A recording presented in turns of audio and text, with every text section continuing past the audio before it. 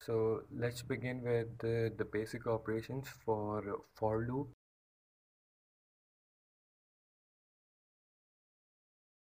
And uh, now I want to display a MATLAB program multiple times and uh, for that I'll write uh, my code like this.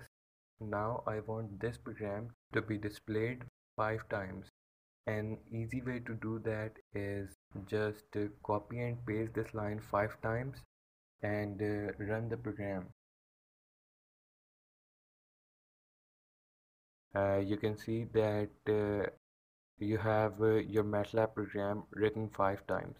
But uh, what if I wanna do this not 5 but 50 or 500 times? It will be difficult for us to just copy and paste 500 times. So for that purpose we use loops. Now to run the code for uh, 50 or 500 times we need to put this information in an index part as we have discussed before like uh, this a equals 1 is to 5 here 1 is to 5 is a row vector now we write our code or a statement like this. And uh, we have to put the end to end the loop. Now run this program. And uh, now I want to write this line 50 times. So I'll put this uh, in the vector. 1 is to 50 run. You can see that uh, we have our line 50 times we can also see what index number is using our line. Now just add our index in statement and run this program.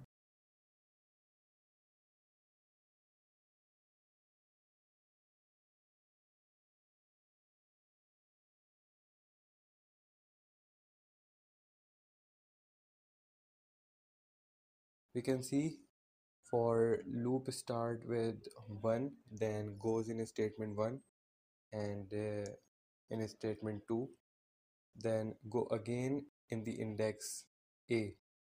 And this time our index is not 1 but 2 then again statement 1 and 2 again repeat itself.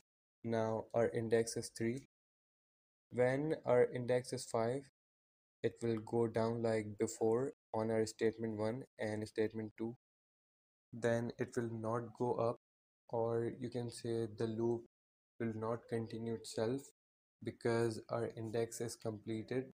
So it will go down and uh, end our loop. So this is the basic and simple concept of uh, for loop